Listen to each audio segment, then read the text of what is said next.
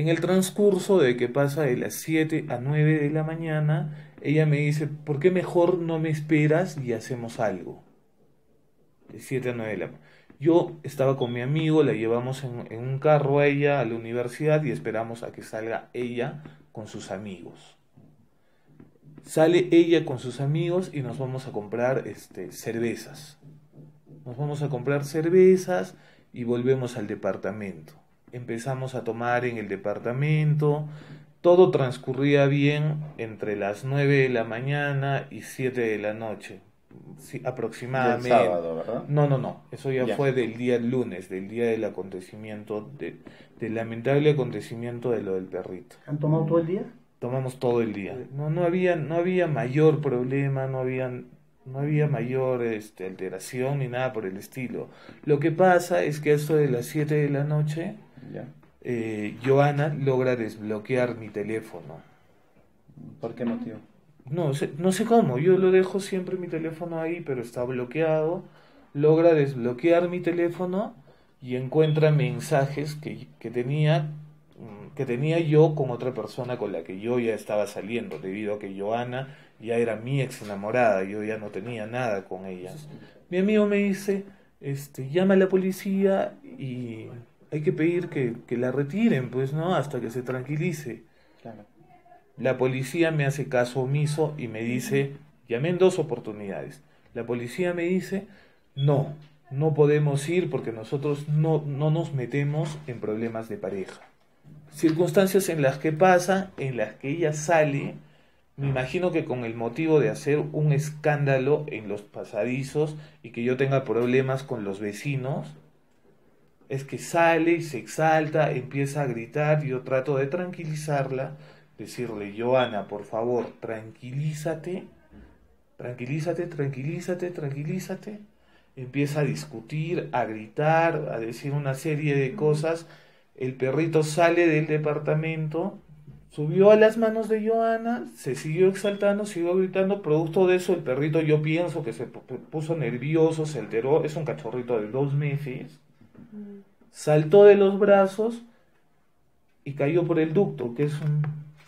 Tiene una altura así, de una abertura así. Como que cayó. Por... Luego, luego de que se cae el perro, ella en, en acto de desesperación se quiso lanzar por el balcón. Ella se quiso lanzar por el balcón. Se generó todo un escándalo porque el perrito cayó al, al, al ducto. Del ducto, uno de mis amigos lo saca al perrito hacia el pasaje de las torres. De ahí, de que digan de que yo lo he cogido al perrito de la pancita o lo he tirado por una ventana a la calle, o sea, es una versión totalmente falsa. Llega la, llega la policía al lugar, pero, pero yo como ya sabía, y ella me ha estado agrediendo, me estaba mordiendo y todo. Esta mordida ha sido en, este, en A ver, la a ver, discusión- muéstranos, muéstranos eso.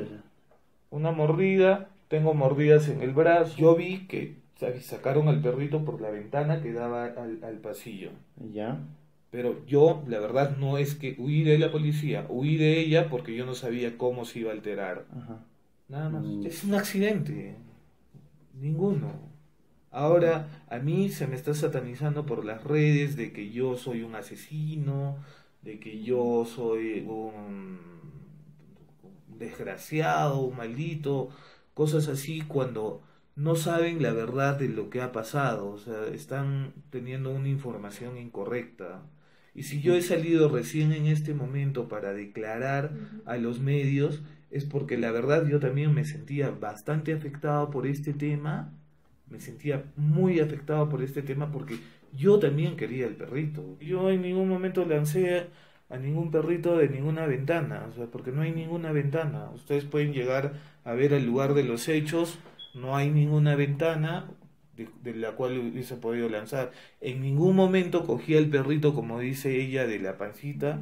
Ella tiene un montón de versiones en diferentes medios, entonces yo no sé quién diga la verdad. Eh, Aún a la fecha no hemos recibido ninguna notificación con relación a una denuncia, a una imputación que se ha hecho contra mi patrocinado. Estamos esperando a que las autoridades, conforme a las, a las eh, normas procesales vigentes, si consideran necesario, pues abran una investigación, nos notifiquen, nos soliciten las acciones y los documentos o pruebas necesarias y nosotros tendremos que inmediatamente colaborar con la Administración de Justicia a efecto de que se esclarezcan los hechos y se establezca obviamente la veracidad de cómo habrían ocurrido los mismos.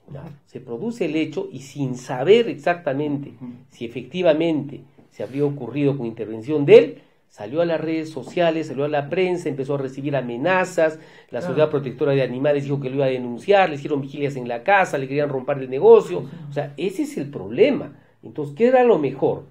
Guardar silencio para que atemperen un poco, baje la, digamos, el calor de este hecho y para que después se pueda dar una versión este, ya con un poco más tranquilos y ya con, con un poco más de esclarecimiento de los hechos, porque si ustedes han, han podido ver, van a, van a poder determinar que las versiones no son tan uniformes de la denuncia. No queremos que este tema crezca, lo que queremos es que se esclarezca.